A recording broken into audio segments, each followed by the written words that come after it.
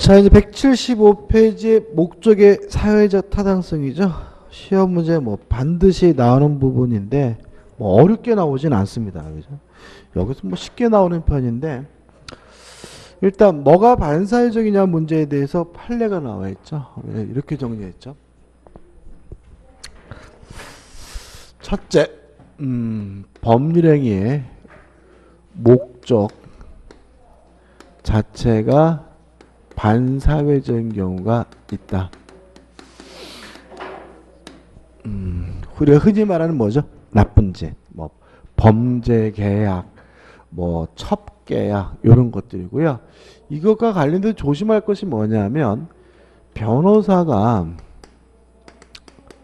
형사 사건에 대해서 성공 보수 하는 것은 반사회적 법률행위로서 무효다. 어, 다시 말하면 어, 민사 사건에 대해서는 성공 보수 받을 수 있습니다. 근데 형사 사건에 대해서도 그동안 변호사들이 성공 보수를 받고 있었는데 이게 최근에 2015년도 판례가 어, 변호사가 형사 사건에 대해서 성공 보수 받기로 했다면 반사회적이다. 이게 우리 대법원 판례 입장이에요. 이유는 왜 그런 거죠? 이 형사 사건에 대해서 성공 보수는 뭐예요? 뭐 영장을 뭐죠? 기각시켜 주겠다. 그죠? 뭐 불구속 아니면 뭐 무죄 판결 받아 주겠다. 이런 내용이다 보니까 어, 나쁜 짓을 많이 하게 되는 거죠. 그래서 어, 민사 사건에 대해서 성공 보수 받는 것은 뭐죠? 가능하지만 형사 사건에 대해서 성공 보수 받기로 하는 것은 뭐죠? 반사회적에서 무효다라고 판시하고 있고요. 또 하나 좀 조심할 것은 뭐냐 하면 법률 행위 시를 기준으로 한다. 이것도 좀 기억해 두시기 바랍니다. 이게 무슨 말이냐면 그동안 변호사들이 성공보수 다 받아왔잖아요. 그죠? 그럼 그동안 다 받아왔는데 지금 2015년도 대법원 판례가 변호사가 성공 보수 받기로 하면 이것은 반사회적에서 어떻게 요 무효다라고 판시하고 있었잖아요. 판시하잖아요. 그러면 2015년 전에 이루어진 성공 보수 약정도 다 반사회적에서 무효냐? 그거는 아니란 얘기죠. 왜냐하면 법률 행위를 할 때를 기준으로 어떻게 요 판단하겠다는 거예요. 그래서 만약에 이 판결이 나기 전에 이루어진 성공 보수 약정은 뭐예요? 유효하고요. 요 판결 후에 이루어진 성공보수 약정만 반사회적이라는 이유로 뭐가 돼요? 무효가 된다. 이런 의미가 되고요. 다시 말하면 반사회적인지 아닌지 여부는 언제를 기준합니까? 법률행위 시를 기준한다는 것도 같이 좀 기억해 두시기 바랍니다. 그 다음에 두 번째는 음, 법률행위의 목적 자체는 반사회적이지 않지만 일정한 요건을 갖추게 되면 반사회적인 경우도 있다. 첫째, 강제하게 되면 반사회적인 경우가 있는데 가장 대표적인 것은 별거 계약과 뭐죠? 혼인 예약이죠. 자, 별거 계약 자체는 뭐 하지 않죠? 반사회적이지 않지만 별거 계약을 뭐 할 수는 없어요? 강제할 수는 없다. 별거 하기로 했는데 안 나간다 그래서 강제로 뭐죠? 쫓아낼 수 없고요. 또 혼인을 예약하는 것도 뭐죠? 반사회적 연시만 뭐 할 수는 없어요? 강제할 수는 없다. 결혼하기 싫은 사람을 강제로 혼인시킨다면 요 자체는 뭐죠? 반사회적이니까요. 그 다음에 두 번째 법률행위 자체는 반사회적이지 않지만 조건이 반사회적인 경우도 있다. 요거는 뭘 기억해야 되냐면 법률행위 전체가 싹 무효다. 그죠? 자, 이런 문제죠. 내가 너에게 1억을 증여하기로 했어요. 이 자체는 뭐 하지 않죠? 반사회적이지 않은데 갑돌이를 죽이면 1억을 주겠다. 뭐가 반사회적이죠? 조건. 물론 갑을 살해하기로 하는 것은 뭐예요? 무효입니다. 근데 문제는 1억을 주기로 하는 것도 뭐가 된다는 거죠? 무효가 된다는 거죠. 음, 따라서 갑을 살해하기로 하는 것만 무효인 것이 아니라 1억을 주기로 하는 것도 뭐죠? 무효기 때문에 어 뭐죠? 사람을 죽이든 안 죽이든 1억은 뭐 할 수 없어요? 받을 수가 없다. 이렇게 되는 거죠. 최근에 그 재밌는 사건이 있었, 아, 재밌는 게 아니라 엽기적인 사건이죠. 그, 김동성이라고 그 뭐죠? 스케이트 선수 있잖아요. 그죠? 요 인간한테 방한 여 교사가 요 교사가 반해가지고 유부남 유부녀죠, 그죠? 반해가지고 롤렉스 시계도 주고 외제차를 사줬어요. 5억 5천. 그리고 5억 5천짜리 금품을 주고 그리고 나서 이제 둘이 이제 일본 여행 갔다 오고 여행 갔다 오고 나서 이제 동거 함께 살기로 했는데 문제는 요 요교사가 이제 함께 살 집을 마련해야 되는데 돈이 없으니까 자기 친엄마를 살인 첨부합니다. 아시죠 이 사건? 그죠? 친엄마를 뭐죠? 신부센터에다가 살인 청부해 가지고요. 6,500만 원을 줬어요. 그럼 이거죠. 그죠? 우리 엄마를 죽이면 뭐죠? 6,500만 원 주겠다. 이런 얘기잖아요. 그죠? 그러면 6,500만 원 주겠다는 것 자체는 뭐 하잖아요? 반사회적이지 않은데 그것을 받게 된 조건이 뭐죠? 엄마를 뭐죠? 죽이기로 하는 거잖아요. 이렇게 조건이 반사회적이면 조건만 무효인 것이 아니라 뭐죠? 1억 6,500만 원을 주기라는 것도 싹 무효다. 따라서 사람을 죽이기로 약속했더라도 무효니까 뭐죠? 죽일 필요도 없고요. 죽이든 안 죽이든 6,500만 원을 뭐할 수 없어요? 받을 수는 없다. 이런 의미가 되는 거죠. 그죠? 참 대단하죠, 이 여자분. 그죠? 남자가 그렇게 좋은가? 저는 그런 사랑을 받아본 적이 없어서 저는 그런 사랑을 받아본 적이 없어가지고 어우 저는 이해를 못하겠어요. 야 어떻게 얼마나 좋으면은 자기 엄마를 죽여가지고도 그 남자 살겠다고 그죠? 참 대단한 것 같아요. 그 다음에 세 번째로 금전이죠. 이것도 작년에 나왔죠. 금전저택가가 결부되면 반사회적인 경우가 있다. 두 가지를 기억해 두셔야죠. 첫째, 음, 어, 본대로 정당하게 증언하기로 약정하는 것 자체는 반사회적이지 않은데 만약에 돈 받고 증언하기로 했다면 뭐죠? 반사회적에서 무효다. 그 다음에 공무원이 직무를 집행하기로 계약을 했어요. 만약에 정당한 직무 집행을 하기로 계약을 했다면 요 자체는 뭐 하잖아요? 반사회적이지 않은데 뭐 받고 하면요? 돈 받고 하면 이것도 뭐죠? 반사회적이다. 아주 시험에 잘 나옵니다. 그 다음 네 번째는 뭐죠? 어, 동기가 반사회적이죠. 법률행위 자체는 반사회적이지 않지만 그것을 하게 된 동기가 반사회적인데 동기가 반사회적인 경우에는 우리 일단 우리 판례는 원칙적으로 유효하지만 동기가 표시가 되거나 아니면 상대방에게 알려진 경우에 그때 비로소 뭐죠? 반사회적에서 무효다. 다시 말하면 동기가 반사회적인 경우는 일단은 뭐죠? 유효한 겁니다. 다만 동기가 표시가 되거나 알려진 경우에 그때 비로소 뭐가 돼요? 무효가 된다는 거 주의하셔야 되겠죠. 그 다음에 세 번째 가족법상의 자유죠. 혼인한다, 약혼한다 같은 가족법상의 자유는 절대적으로 보장이 됩니다.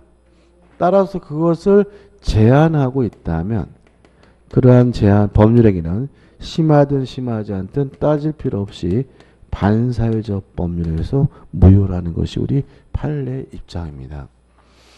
음, 가장 문제가 되는 것은 뭐죠? 음, 등장인물을 조심하자 그랬죠. 만약에 미혼인 커플이 등장하면 혼인할 수 있는 자유를 제한하는지를 따져보게 되고요. 혼인할 수 있는 자유를 제한한다면 심하든 심하지 않든 뭐죠? 반사회적에서 무효고 만약에 어, 유부남, 유부녀, 부부가 등장하는 경우에는 이혼할 수 있는 자유를 제한하는지를 따져봐야 되고요.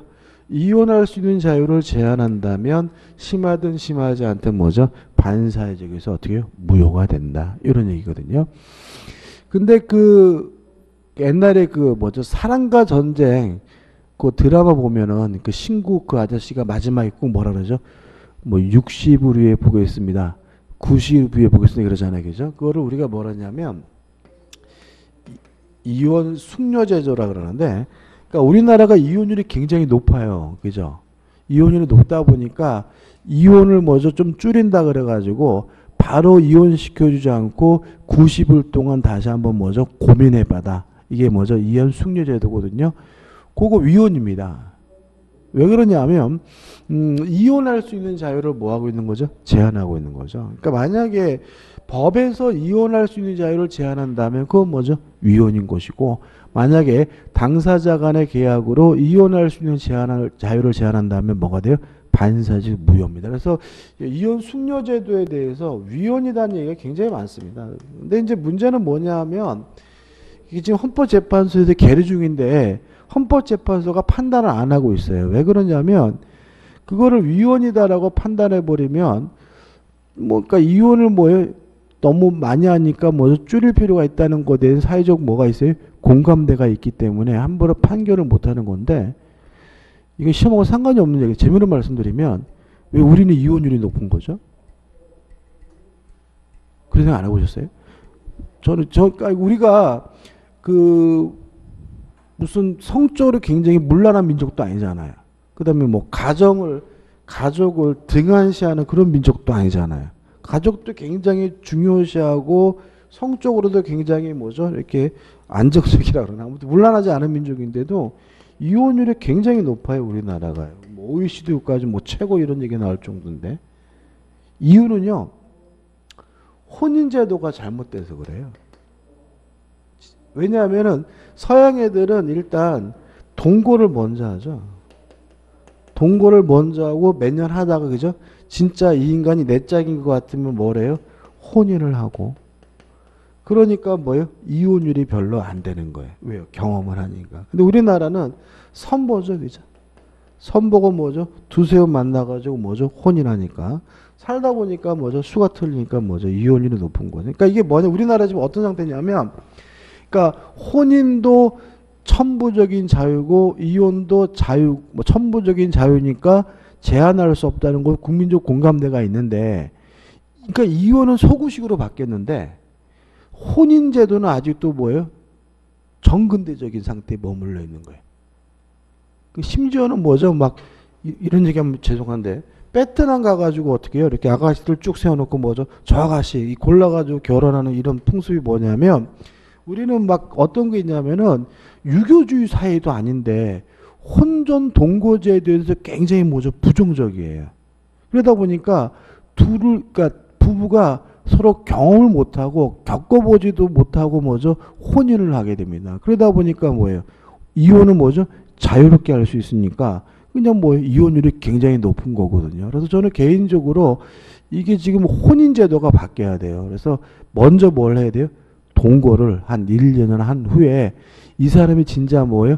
내 짝인 것 같다라고 생각이 되면 그때 뭐죠? 혼인을 해야 이혼율이 줄어드는 거예요. 근데 우리는 뭐냐면 혼인하기 전에 동거해가지고 같이 생활한다 그러면 사회적으로 뭐죠? 비난을 받잖아요. 그죠? 아, 저 인간들 결혼도 하는데 같이 산대 막 이러잖아요. 그죠? 근데 이거를 비난할 일이 아닌 것 같다는 거죠. 그러니까 우리나라의 혼인 제도에 대해서 서양 사람들은 엽기적이라고 그럽니다. 그죠? 반 인륜적이라. 우리나라 혼인 제도는 뭐 문제가 뭐 잘못됐다는 거예요. 그러니까 왜냐하면은 우리가 말하는 것처럼 인륜지 대사잖아요. 그러니까는 어떻게 해요? 신중해야 되는데 어떻게 서너 번 만나가지고 커피 마시고 차 한 잔 마시고 한 번도 관계도 안 갖고 결혼하냐 이거죠. 그죠? 거기다가 또 우리나라 또 어떤 제도가 있냐면 남자들이 결혼할 때 살 집을 마련해야 되잖아요. 그죠? 이런 것도 관행이잖아요. 그죠? 그러다 보니까 서양 사람들이 봤을 때는 지창금 제도를 이해를 해요. 그러니까 남자 여자가 만나가지고 좋아서 함께 살면 뭐 그냥 사는 거지 무슨 부모가 무슨 천천지 무슨 죄를 진 것도 아닌데 아들을 장가 보들려면 뭐, 뭐 2억이 필요하니 3억이 필요하니 이런 식의 얘기가 오고 간다는 거는 결국은 뭐냐면 이슬람 국가와 똑같은 뭐 지창금 제도로 이해를 합니다. 그러니까 지금 서양 사람들 봤을 때 우리나라는 뭐냐면 사랑이니 애정이니 그런 거 하나도 필요 없고 뭐만 있으면요 돈이 있으면 결혼할 수 있는 이런 제도를 우리나라의 혼인 제도를 이해하거든요. 그래서 저는 우리나라 혼인 제도가 굉장히 잘못돼 있어요. 그래가지고 지금 그런 그런 얘기도 있잖아요. 빈곤이요, 빈곤이 아래로 흐르는 게 아니라 위로 흐른대요. 이게 무슨 말이냐면 과거에는 부모가 못 살면 아들 딸이 못 살았잖아요. 근데 지금은 아들 딸이 못 살면 부모가 못 산다는 거예요.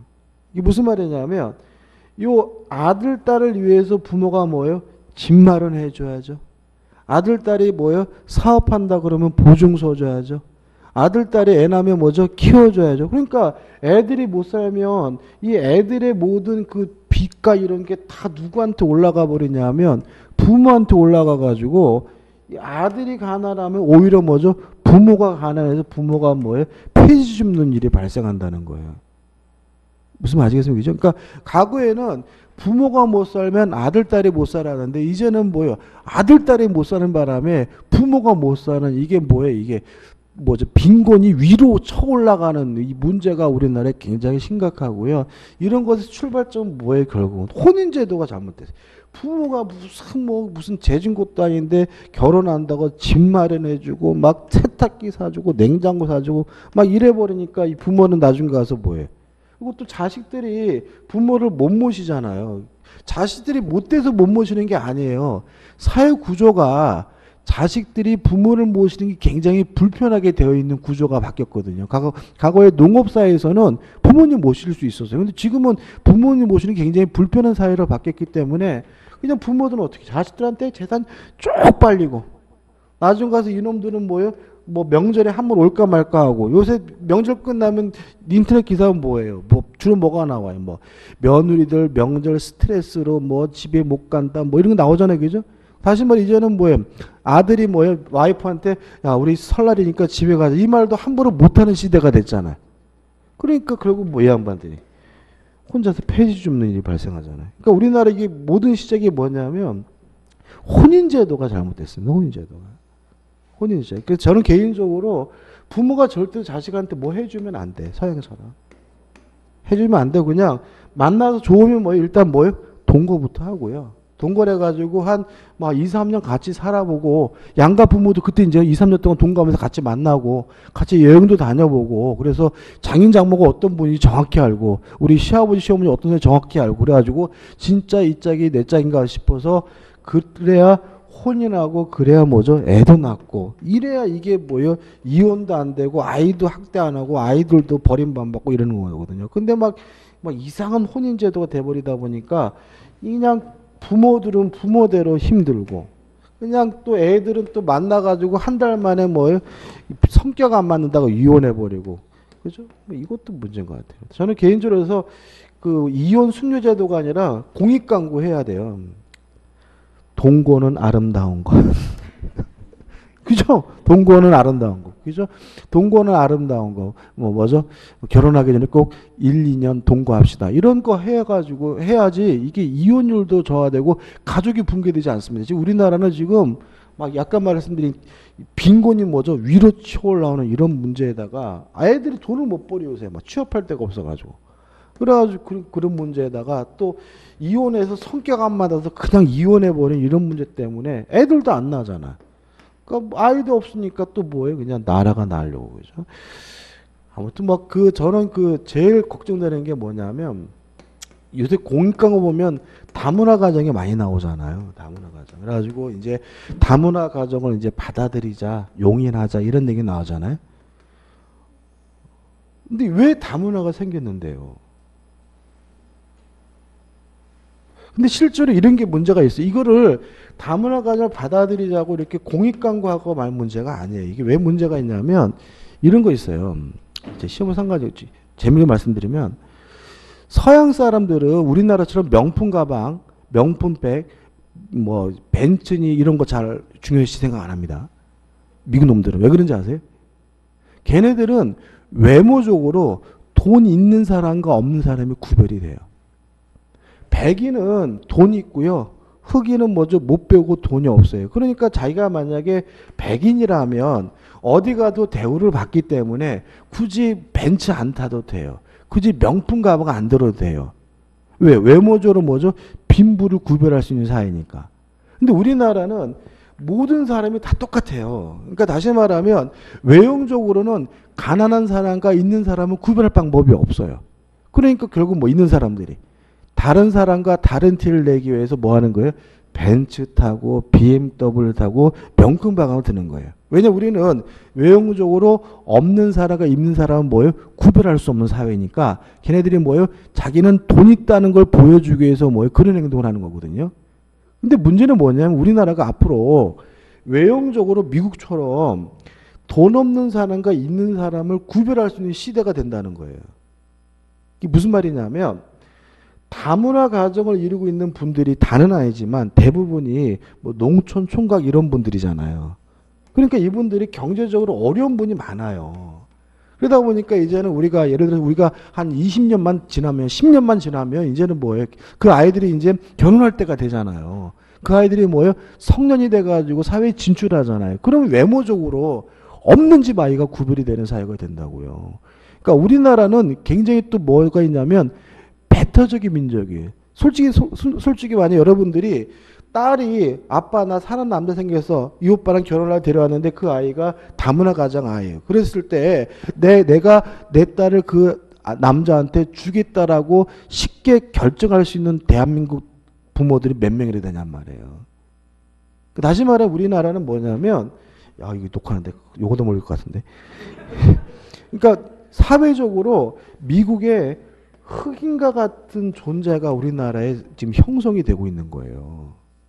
가슴 아프게도. 근데 우리나라는 수천 년 동안 단일 민족으로 사활을 왔기 때문에 다른 것에 대해서 틀린 것에 대해서 굉장히 배타적인 민족이거든요. 그렇기 때문에 미국에서 흑백 간의 갈등 정도가 아니라 엄청난 갈등이 야기될 거예요. 무슨 말 아시겠어요? 그죠? 그래가지고 막 요새 시골 같은 데 가면 초등학교 가면은 막 반이 막 다문화이고 막 이런 경우 많거든요. 뭐 금상 같은 데 가도. 막 그러다 보니까는 이게 제가 봤을 때는 이거를 다문화를 받아들이고 아름다운 거 이뻐하고 좋아할 일이라고 강구할 문제는 아니라는 거죠. 그러니까 우리는 이런 문제에 대해서 아직 대응할 준비가 안된 상태이기 때문에 이거 나중에 10년, 20년 지나면 큰 문제가 돼요. 그러면 이게 결국은 이게 이런 거잖아요. 저는 항상 생각되는 게 농촌 총각이잖아요. 그죠? 농촌 처녀는 어디 갔어? 아, 그잖아요. 그러니까 이게 무슨 말이냐면 참 웃긴 게 뭐냐면 지금 남자가 농촌 청각이 결혼을 못 한대요. 그러면 그래서 베트남 가서 여자분들을 데려온대요. 그러면 이분들과 대응되는 또 다른 여성분들이 결혼 못 하잖아요. 그잖아요. 그러면 이분들에 대해서 왜 사회적으로 생각을 안 하는 거예요? 우리나라 성비가 남자가 굉장히 많은 나라가 아니에요. 우리나라 성비는 안정적인 나라거든요. 다시 말하면 농촌 청각이 베트남 가서 여자분을 데려와서 수십 명이 결혼하면 그에 대응하는 수십 명의 여자분들이 결혼을 못하고 계신 거거든요. 이분들 어디 계시는데? 이분들 어디 계시는데 이분들이 이게 또 충격적인 충격적인 통계가 있어요. 우리나라 그 가임 여성 무슨 말 아시죠? 임신이 가능한 여성의 20% 다섯 명중한 명이요 매춘업에 종사하고 있습니다 우리나라. 매춘업에. 그러니까 우리나라가 지금 이 뭐 이렇게 매춘 이렇게 성매매와 관련된 그 종사하는 그 국회에서 나온 자료인데 통계를 내 보니까 가입 여성의 다섯 명 중 한 명이 뭐예요? 매춘업에 종사하고 있대. 이분들이 뭐인 거예요? 그러니까 다시 말하면 이 결혼 안 하는 여자분들이 뭐 아름답게 독신 생활하시고 아름답게 뭐 이렇게 뭐 이런 생활 하시는 게 아니라 이게 이 농촌 총각보다 나이 들면서 더 큰 뭐예요? 빈곤층으로 뭐죠? 빠져드는 분들이 있는 거예요.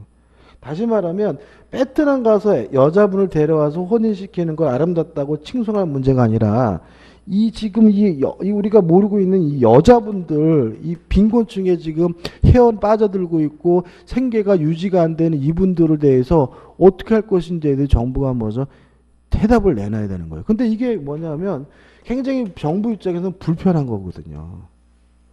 불편한 것이고 누가 껴들면 뭐죠? 말하기도 싫고 막 그런 문제다 보니까 이분들이 지금 사회적으로 뭐예요? 완전히 뭐인 거예요? 그냥 있는 둥 없는 둥 막 이런 상태. 그래서 최근에 어떤 일이 있었냐면 저도 이런 거 몰랐어요. 몰랐는데 한 몇 년 됐는데 외교부 장관이 외신 기자회견을 해요. 외국 외신 기자, 외신 기자회견 하는데 로이터 통신의 그 기자가 이걸 물어봤어요. 이 문제. 근데 어떻게 물어봤냐면 얘가 어, 좀 신사적으로 지금 그 한국 남성들의 이 성매매 문제 때문에 지금 이분들이 자 지금 뭐에 실업으로 잡혀 있죠. 이분들은 무슨 뭐 사대보험 그게 아니잖아요. 그래가지고 성매매에 종사하는 분들이 실업 요소로 잡혀 있기 때문에 통계적으로 한국은 여성의 취업률이 너무 낮게 잡힌다. 이 문제에 대해 어떻게 생각하냐 이렇게 질문했다가 이 사람이 뭐요? 기자회견장에서 쫓겨나게 돼요. 외, 외무부 장, 외교부 장관이 건방지다. 어디서 그딴 소리를 하느냐. 그러다 쫓겨나니까 이 사람이 쫓겨나면서 황당해가지고 내가 왜 쫓겨나야 되느냐. 니들 사회 문제니까 니들이 답변해야 되는 거 아니냐. 이렇게 얘기했더니 뭐 이런 신성한 자리에서 이런 기분 나쁜 얘기를 했다고 막 화를 내니까 얘가 이제 외교부 장관한테 뻑큐라고 해요. 뻑큐라고 욕을 하니까 외무부 장관이 열받아가지고 미 국무부에다가 항의를 합니다. 기자가 뭐예요? 뭐저 빡큐라고 했다고 외교장관한테. 그래가지고 이게 한번 외교적 문제가 된 적이 있어요. 그러니까 외국은 우리나라 문제를 알아요. 이런 거를. 그러니까 지금 농촌 총각의 문제가 아니라 농촌 총각과 결혼해야 될 이 여성분들이 더 큰 문제라는 거를 외국에서는 알거든요. 근데 우리나라는 그거를 굉장히 뭐예요? 그냥 터부시하고 그냥 건들지 않으려고 그냥 막 이렇게 숨기고 있는 그런 상황이고. 그 다시 말하면 뭐가 되게 나왔지. 아무튼 아무튼 제가 봤을 때는 지금 우리나라 총체적으로 좀 문제가 좀 있어요. 그러니까 이게 이게 막 골고 골고 그래가지고 그 수십 년 지나면 이제 뭐예요? 외교 외, 외모적으로 구별될 수 있는 뭐죠? 없는 사람이 구별되는 시대가 되고요. 그러면 이게 막 이제는 막 뭐 엄청난 사회 문제가 될 것 같은데 정부가 전혀 신경을 안 쓰고 좀 신경 써야 될 때가 아닌가 싶어요. 그래서 저는 막 이렇게 막 TV 보다가 막 다문화 어쩌고 이렇게 나오면 막 막 싫어요. 아, 다문화를 신경 쓰기 전에 우리 진짜 그, 그 보호받아야 될 분들은 다 어디 가 있는지. 아무튼 마음에 안 듭니다. 재미로 말씀드렸고요. 자, 이혼할 수 있는 자유를 제한하면 뭐죠? 반사적 무효다. 그래서 조심할 게 뭐냐면 이런 거잖아요. 어, 처에게 예를 들어서 부동산을 증여하면서 첫째, 혼인 관계가 유지가 되는 동안은 처분하지 못한다. 라고 특약을 걸렸다면 요거는 무효가 아니라 뭐죠? 유효하다. 왜냐하면 이혼할 수 있는 자유를 뭐 하잖아요? 제한하지 않기 때문에 유지되는 동안 처벌하지 못한다는 말은 이혼하면 뭐 할 수 있다는 얘기죠? 마음대로 팔아먹을 수 있다는 얘기니까요. 이에 반해서 이혼하면 반환하기라는 계약은 반사회적에서 어떻게 해요? 무효다. 왜냐하면 이혼하면 반환하기로 하면 무슨 자유를 제한하게 됩니까? 이혼할 수 있는 자유를 제한하니까 뭐가 돼요? 반사회적에서 무효라는 거 주의하시기 바랍니다. 그 다음 네 번째가 어차피 시험에서 가장 중요한 거죠. 인간의 본성이면 당연히 하는 것으로 평가된다면 뭐 하지 않죠? 반사회적이지 않다. 첫째, 어떤 형태든 세금을 안 내려고 하는 행위는 뭐 하지 않죠? 반사회적이지 않습니다. 왜냐하면 세금을 내고자 하는 사람은 또라이죠. 그 다음 두 번째, 어떤 형태든 채무를 회피하려고 하는 행위, 돈을 안 내려고 하는, 아, 돈을 안 갚으려고 하는 행위도 일단은 뭐죠? 반사회적이지 않습니다. 그 다음에 세 번째로 이미 만들어 놓은 비자금, 범죄 자금을 은닉하는 행위는 인간이면 당연히 하는 행동으로 평가되기 때문에 일단은 뭐 하지 않죠? 반사회적이지 않다는 거 기억해 두시기 바라고. 그 다음 뭐 투기 행위도 뭐 하지 않죠? 반사회적이지 않다. 왜냐하면 투기는 결국은 이익을 추구하는 행위로서 인간이면 당연히 하는 행동으로 평가됩니다. 따라서 투기 행위 등 이익 추구 행위는 뭐 하지 않죠? 반사해지지 않다는 거 꼭 기억해 두시기 바랍니다. 어차피 이쪽에서 뭐가 나오게 되는 거죠? 답이 나오게 되는 거죠. 균이 나온 내용 한번 쭉 읽어보시기 바라고요. 어, 177페이지 오시면 이제 뭐가 나오죠? 반사회적 법률행위의 효과가 나오죠. 일단 무효입니다. 따라서 이행하기 전이면 이행할 필요가 없습니다. 근데 문제가 되는 것은 뭐냐면 이행을 한 경우가 문제죠. 이행을 한 경우에는 불법 원인 급여이기 때문에 뭐 받지 못하죠? 반환받지 못한다. 따라서 불법 원인 급여이기 때문에 반환받지 못하므로 결국은 소유권과 같은 물권은 소유권은 어, 상대방 측에 기속하게 된다는 거 조심하시기 바라고요. 다만 두 당사자 중에서 불법 없는 당사자는 뭐 받을 수 있냐면 반환받을 수 있다는 것까지 꼭 기억해 두시기 바랍니다. 자, 그럼 이렇게 되는 거죠. 아까 했던 얘기죠. 그 철없는 여교사하고 김동성하고 아 이것도 명예훼손을 고소당하진 않겠죠. 코 스케이트 선수인 김 코치하고 예를 들어 가지고 뭐 했어요? 불륜 관계를 유지하기로 한 조건으로 뭘 줬냐면 외제차를 줬는데 벤츠도 아닌가. 저는 그 보면서 처음 들어보는 차인데 아무튼 자동차를 먼저 줬어요. 자동차에 대해서 뭘 해줬겠어요? 등록을 해줬겠죠. 그죠? 그러면 만약에 불륜 관계를 유지할 조건으로 고급 예제차를 주기로 했다면 아직 주기 전이면 무효니까 뭐 할 필요 없어요? 줄 필요가 없지만 줬으면 불법 원인급여이니까 뭐 받지 못해요? 반환받지 못하죠? 그럼 이 자동차는 누구 거가 된다는 거예요? 김동성 거가 된다는 거죠. 이해되시나? 아유, 표정이 뭐야. 갑이 소유하고 있는 아파트를요. 을가 첩 계약을 하면서 증여하기로 했어요. 물론 반사회적에서 무효니까 갑이을에게 이전 등기해 줄 필요가 없는데 등기해 주면 불법 원인급여니까 뭐 받지 못해요? 반환받지 못하잖아요. 따라서 이 아파트는 누구 거가 돼요? 을 거가 된다. 다시 말하면 소유권이 상대방에게 확정적으로 뭐가 돼요?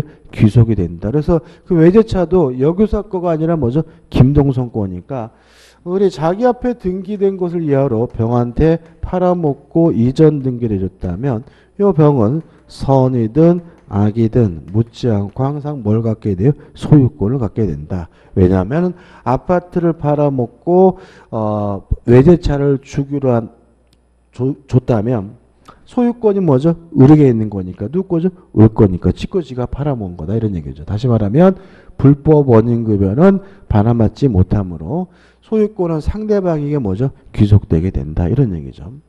근데 조심할 것은 뭐냐면 불법 없는 당사자는 뭐 받을 수 있냐면 반환받을 수가 있는데 불법 없는 당사자는 일반적으로 누굴 생각하시면 되냐면 피해자를 생각하시면 돼요. 가장 대표적인 것은 뭐냐면 인질범 얘기죠. 니딸 데리고 있다. 1억 붙여라. 그래서 1억 붙이기로 약속을 했어요. 물론 뭐죠? 반사회적에서 무효니까 1억을 뭐 할 필요 없어요? 줄 필요는 없는 거죠. 근데 딸을 죽인다 그러길래 뭐죠? 1억을 줬어요.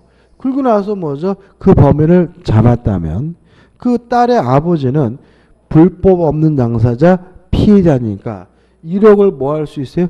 반환받을 수가 있다. 이렇게 되는 거죠. 그래서 원칙적으로 이행하기 전이면 이행할 필요가 없고 이행한 것은 돌려받지 못하지만 불법 없는 당사자 피해자는 뭐 할 수 있어요? 반환받는 것이 뭐죠? 가능하다. 이렇게 되는 거죠. 하나 다른 예를 들어볼까요? 이런 거 생각해 볼까요? 갑과 을이 부부인데요. 부부인데 이게 우리나라 실제 사건입니다. 이제 갑 앞으로 이빠이 뭐 했냐면 보험을 가입했어요. 보험을 생명보험을 남편 앞으로 그리고 나서 을이 갑을 죽인 게 아니라 어떻게 했냐면 갑이 그 뭐죠? 어, 사망하기로 위장하기로 했어요. 그래서 이 양반이 중국으로 여행 가가지고 벼랑 위에다가 신발 벗어놓고 잠적을 했어요. 그래서 중국이니까 수사도 안 하고 이 사람이 뭐죠? 사망한 곳으로 처리가 돼가지고 처 앞으로 뭐죠? 사망보험금이 지급이 됐어요. 어떤 상인지 아시겠죠, 그죠? 그래서 이제 갑은 이제 법적으로 뭐요? 죽은 사람이니까 어 뭐 취업도 못 하잖아요, 그죠? 그래가지고 이제 을이 뭐예요? 이제 남편한테 이제 몰래 뭐죠? 생활비 등을 보내주기로 했는데 문제는 수년이 지난 후에 이분이 이제 뭐예요? 다른 남자를 사귀게 됐어요. 그래가지고 이제 생활비를 안 주니까 요 갑이 중국에 살다가 굶어 죽게 생겼으니까 대사관에 나타나가지고 살려주세요 하는 바람에 잡힌 거예요. 물론 이 갑과 을은 사기죄를 처벌받는데 요 보험회사는 요 보험금을 돌려받을 수 있겠어요 없겠어요?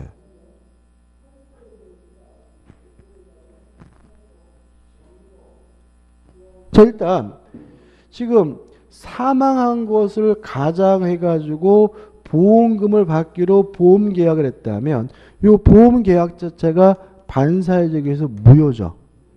따라서 만약에 갑이 안 죽었던 사실을 알았다면 보험회사는 안 주겠죠. 왜냐하면 반사회적 법률 무효니까 이행 전이면 뭐할 필요 없어요? 이행할 필요가 없는 거죠. 근데 보험회사가 보험금을 지급했잖아요. 근데 보험회사는 여기서 누구예요? 불법 없는 당사자 피해자인 거죠. 따라서 보험회사는 을에게 보험금을 달라고 뭐 할 수 있어요? 요구할 수가 있다. 이렇게 되는 거죠. 그래서 보험회사 입장에서는 보험금을 지급하기 전이면 뭐 할 필요 없어요? 무효임을 주장하면서 보험금을 줄 필요가 없지만 이미 지급한 경우에는 나중에 그것이 어, 범죄임이 밝혀졌다 반사회적 임이 밝혀진 경우에는 보험금을 뭐 할 수 있어요? 돌려받을 수가 있는 거다. 왜냐하면 불법 원인급여는 원칙적으로 못 받는 거지만 불법 없는 당사자는 뭐 받을 수 있어요? 반환받는 것이 가능하니까 꼭 기억해 두시기 바라고요. 그 다음에 요 무효는 절대적 무효입니다. 따라서 제3자는 선이라 하더라도 뭐 받지 못해요? 뭐 받지 못한다. 그 다음에 또 요 무효는 나쁜 짓이죠. 따라서 뭐 할 수도 없어요? 추인할 수도 없다. 그래서 나중에 또 정리하겠지만 반사회적 범위에서 무효인 경우에는 나쁜 짓이기 때문에 뭐 할 수도 없어요? 추인할 수도 없다는 거 꼭 기억해 두시기 바랍니다. 끝이죠. 그 다음에 넘겨보시면 178페이지 뭐가 나오냐면 이제 이중매매가 나오고 있죠.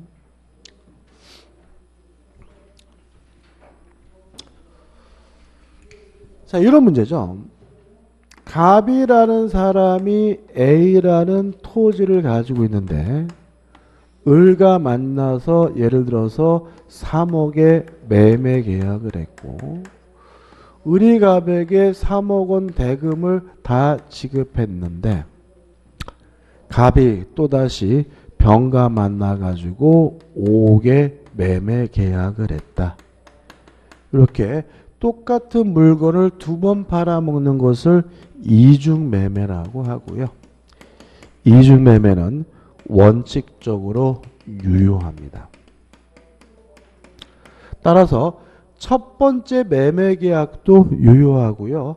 두 번째 매매 계약도 유효하므로 소유권은 누구한테 가냐면 먼저 등기한 사람은 선등기자에게 가는 거죠.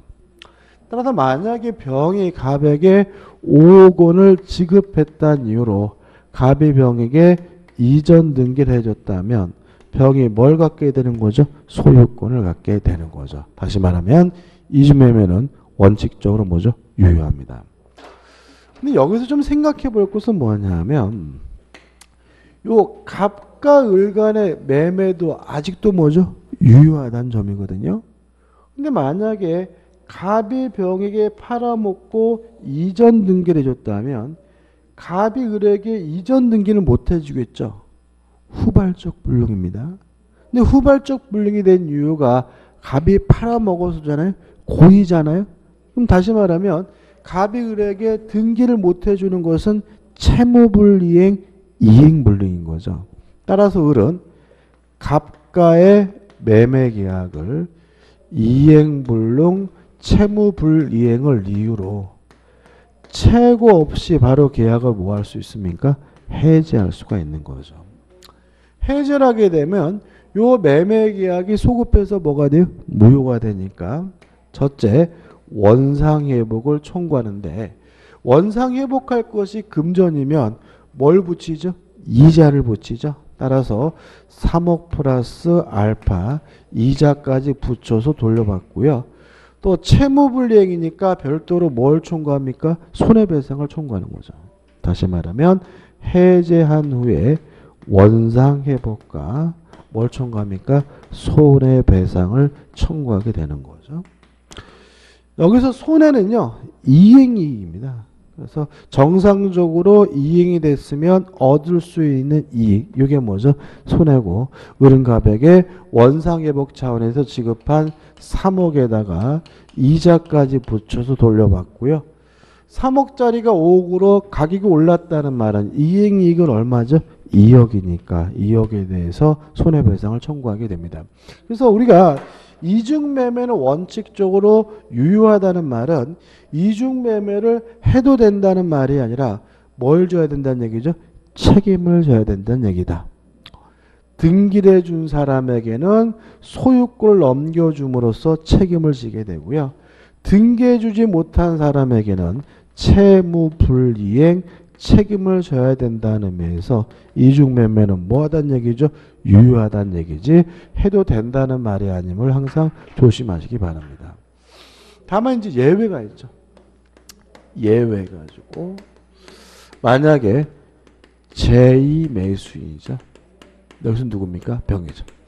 병이 아는 것을 넘어서 적극 가담하게 됐다면 이제는 이중매매는 반사회적 법률행위로서 뭐가 됩니까? 무효가 됩니다.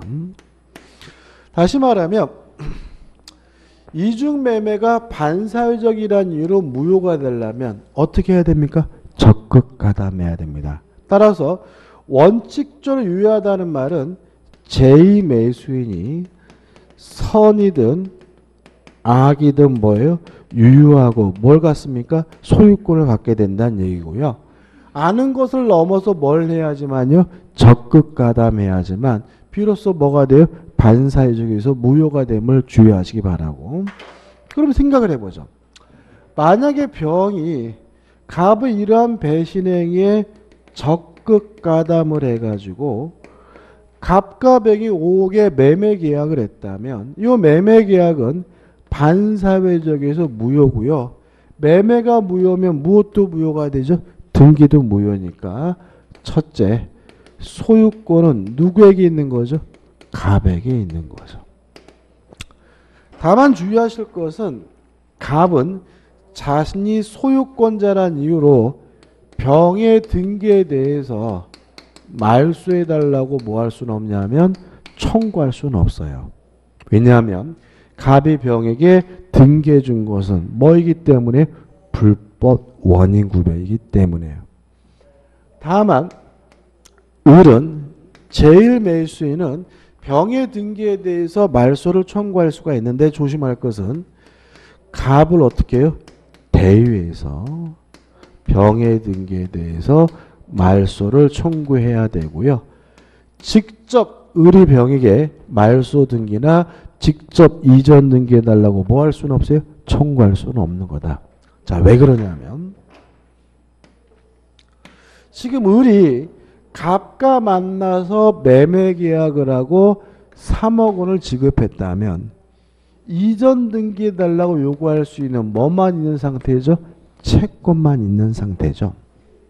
근데 이 채권은 특정한 사람에게만 주장할 수 있는 상대권이니까 누구한테만 등기해달라고 할 수 있어요? 갑한테만. 병한테는 직접 이전 등기나 말소 등기해달라 요구할 수는 없는 거죠. 따라서 을은 갑을 대의해서 말소해달라고 청구해야 되고요. 병의 등기에 대해서 직접 말소해달라고 뭐 할 수는 없어요? 청구할 수는 없다. 까지 이해하시면 되겠죠. 근데 이걸 좀 줄여보자고요. 줄여버리면 이렇게 됩니다. 일단 선이든 악이든 묻지 않고 뭘 갖게 되냐면 소유권을 갖게 된다.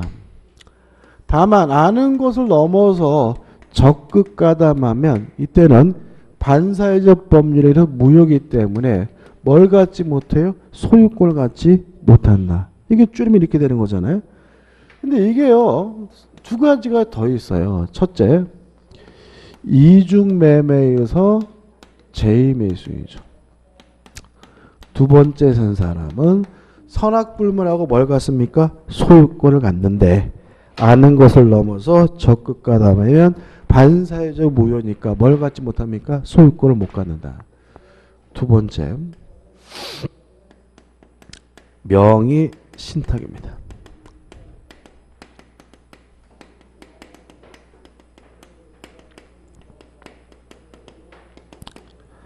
제3자. 그 다음에 세 번째, 취득 시효 완성 후 소유자의 처분에 있어서 매수입니다. 자, 이런 거예요. 자, 갑이 을과 만나가지고 명의신탁 약정을 하고요. 명의신탁 약정에 의해서 갑에서 을로 이전 등기를 해주면 요 갑을 우리가 명의신탁자라고 하고 을을 명의 수탁자라고 합니다. 명의 신탁이라는 말은 명의가 이름이잖아요. 그러니까 쉽게 말하면 이름을 빌리기로 하는 계약. 이게 뭐예요? 명의 신탁이에요. 예를 들어서 요새 또 개각한다 그러잖아요. 갑한테 연락을 했어요. 청와대에서 장관 한번 해보래요. 근데 자기가 땅이 많아요. 근데 만약에 딱 많으면 또 청문회 가서 또 어떻게 욕 바가지 얻어 먹을 거잖아요. 그죠? 그래가지고 동네 친구 만나가지고 야 이름 좀 빌려다오. 나 이번에 청문회 가야 되거든. 해가지고 이름을 빌려서 친구 앞으로 등기해 놨다면 이걸 우리가 뭐죠? 명의 신탁이라고 하고 이름 빌린 사람은 누구죠? 신탁자. 이름을 빌려준 사람이 누구죠? 수탁자죠. 물론 아직도 누구 겁니까? 갑건 거예요. 근데 을이 자기 앞에 등기된 것을 기하로 병한테 팔아먹고 병한테 이전 등기를 줬어요. 명의 신탁에서 명의 수탁자가 뭐였어요? 처분했을 때요. 병 제3자는 선악 불문하고 뭘 갖습니까? 소유권을 갖습니다. 다만 아는 것을 넘어서 을의 이러한 배신행위 뭐하면요? 적극 가담하면 이제 을과 병간의 매매가 반사회적에서 무효니까 뭘 갖지 못해요? 소유권을 갖지 못합니다. 똑같다는 거죠. 그 다음에 세 번째 요거죠. 자 등기는 갑 앞으로 되어 있고요. 점유는 을이 하고 있어요. 요런 상태에서 20년이 되면 을에게 소유권이 주어지는 건 아닙니다. 을은 취득시효가 완성됐다는 이유로 이전 등기해달라고 청구하고요. 등기를 해야지만 비로소 뭘 가져요? 소유권을 갖는 거거든요. 근데 갑이 등기해 주기 싫어서 21년 됐을 때 병과 만나서 매매 계약을 하고 병에게 이전 등기를 해줬어요. 취득시효 완성 후 소유자가 처분했을 때 요 매수인인 병은 선악불문하고 뭘 가져요? 소유권을 갖습니다. 다만 아는 것을 넘어서 적극 가담하면 갑과 병간의 매매가 반사회적에서 무효가 되기 때문에 뭘 갖지 못해요? 소유권을 갖지 못합니다. 근데 이 세 가지인데 이게 같은 거라는 거 느껴지시나요? 한번 생각해 보세요. 이중 매매도 을, 갑이 을에게 팔고 매매 대금을 받았다면 을한테 뭘 해줘야 돼요? 등기를 해줘야 되죠. 등기를 해줘야 되는데 병한테 뭐죠? 팔아먹은 거잖아요. 이것도 마찬가지죠. 지금 몇- 이름만 빌린 거니까 누구 거예요? 갑 건 거잖아요. 갑이 원하면 을은 갑에게 뭘 해줘야 돼? 이전 등기 해줘야죠. 해주기 싫어서 누구한테 팔아먹었어요? 병한테 팔아먹었다. 이중매매 구조가 똑같잖아요. 취득시효가 완성됐다면 갑은 을에게 이전 등기해줘야죠. 해주기 싫어서 누구한테요? 병한테 팔아먹었다면 이중매매하고 어떻게 요 똑같은 거예요. 그래서 요 세 가지는 다 뭐예요? 선악불문하고 소유권을 취득하고 아는 것을 넘어서 뭐하면요? 적극 가담하면 반사회적 법률에서 뭐가 되는 거죠? 무효가 되는 거죠. 이게 교재 어디 나와 있냐면은 179페이지 상단에 보시면 메뉴에 보시면 이런 말이 나와요. 이중매매와 유사한 법률 관계. 판례는 제2매수인의 선의 악의를 불문하고 소유권을 취득하나 적극 가담한 경우 반사회적 법률행위로 무효여서 소유권을 취득할 수 없다는 법리는 취득 시효 완성 후 소유자가 제3자에게 처분한 경우 요거죠? 그죠? 그 다음에 계속 보시면 명의 수탁자가 제3자에게 처분한 경우에도 그대로 뭐죠? 적용하고 있다. 판례 내용 나오고요. 따라서 이 세 가지를 뭐죠? 같이 좀 기억해 두시고 정리해 두셨으면 좋겠어요. 그 다음에 5분만 쉬었다가요. 불공정한 법률 행위를 보도록 하겠습니다. 음.